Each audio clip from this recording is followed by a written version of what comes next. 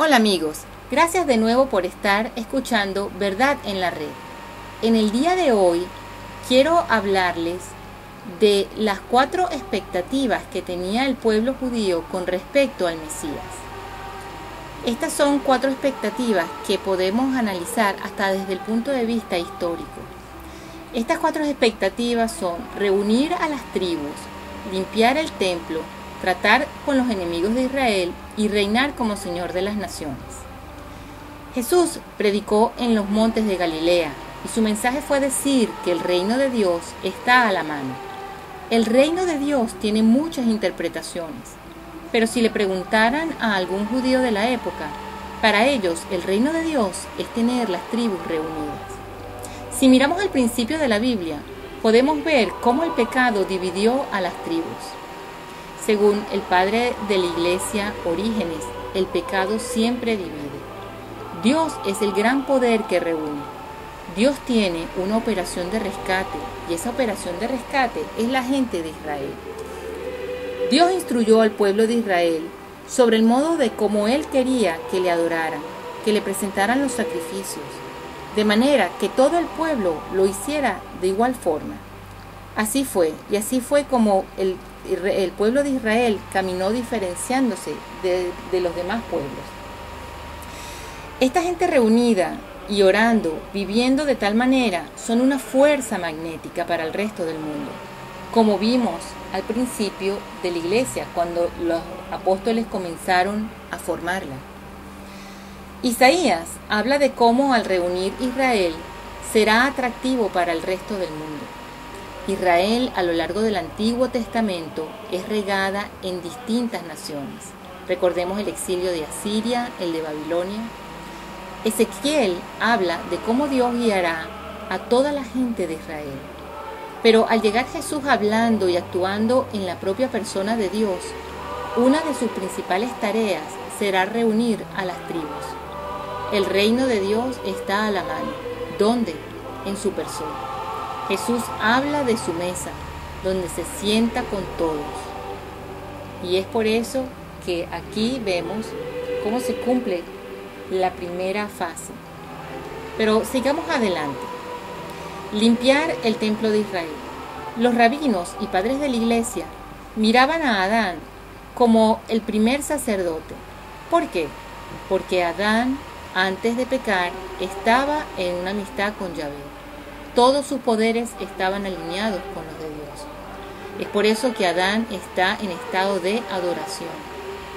En la Jornada Mundial de la Juventud del año 2005 en Colón, el Papa Benedicto dio una explicación de la etimología de la palabra adoratio, que significa de boca a boca. De esta manera podríamos estar integrados con Dios. Cuando nuestra adoración va dirigida a otros intereses, como el dinero, el poder, el sexo, comenzamos a desintegrarnos con respecto a la relación con Dios.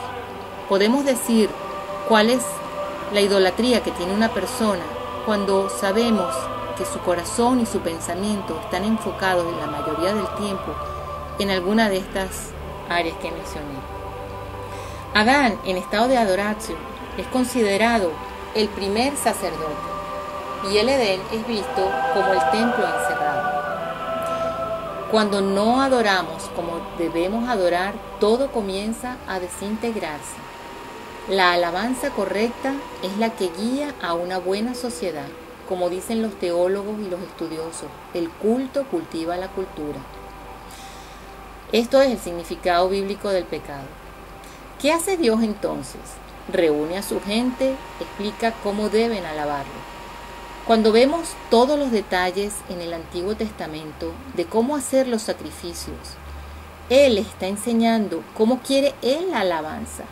No porque Él necesite esta alabanza para aumentar su gloria, sino porque nosotros necesitamos saber alabarlo para ponernos en el orden correcto con Él.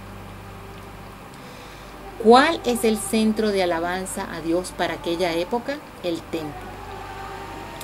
Los profetas amaban y odiaban al mismo tiempo al templo. Lo odiaban por la corrupción que había en él. y lo amaban por supuesto porque era donde moraba Dios. Ezequiel habla de la renovación del templo, haciendo alegoría del agua que emanará por un lado del costado de ese templo. Cuando miramos a, a Cristo, es rápido asociarlo con el templo.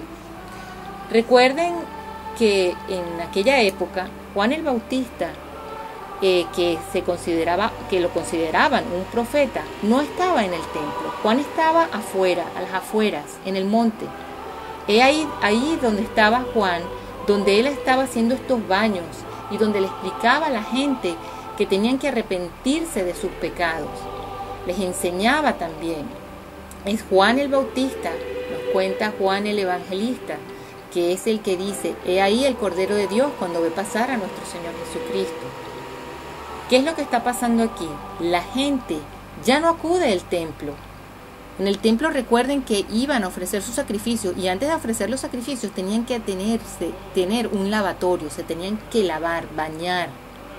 Ya no lo hacen ahí, ya no acuden a recibir instrucción ahí, están donde Juan y donde están los discípulos de Juan y donde está más tarde Cristo, Jesucristo con sus apóstoles también predicando y enseñando. Entonces vemos aquí como hay un nuevo templo, un nuevo templo que se está levantando, que se está formando, que es el cuerpo de nuestro Señor Jesucristo. San Pablo habla de Jesús como el nuevo Adán, el adoratio, el que está en el lugar en estado perfecto con Dios.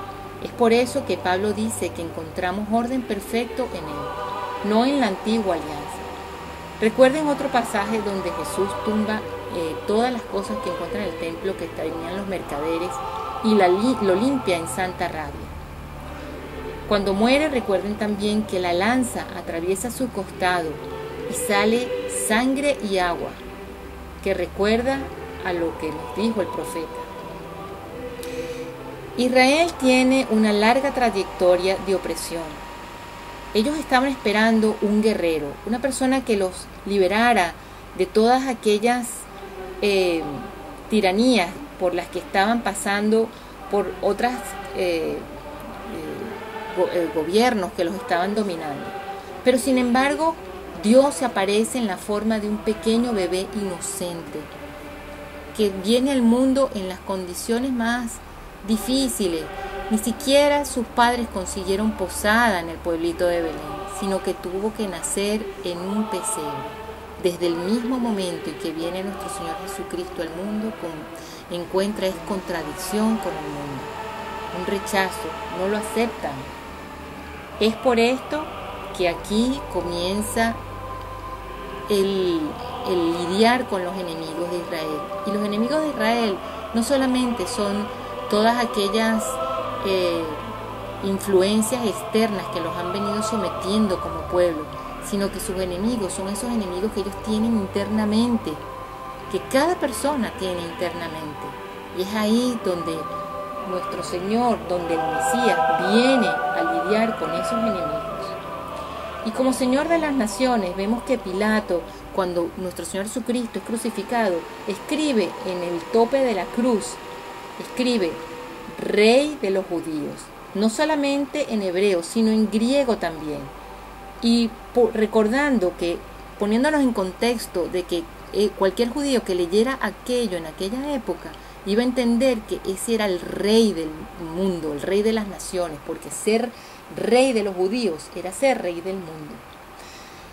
Es aquí donde Pablo, que en ese momento debe haber estado preparándose muy fuertemente en todas las cuestiones del judaísmo, que analiza y reconoce más tarde que Cristo realmente es el Mesías. Recuerden que Pablo era antimovimiento cristiano, lo persiguió ferozmente y sin embargo Pablo encuentra que Cristo es de verdad el Mesías, que completa todo aquello que esperaban los judíos.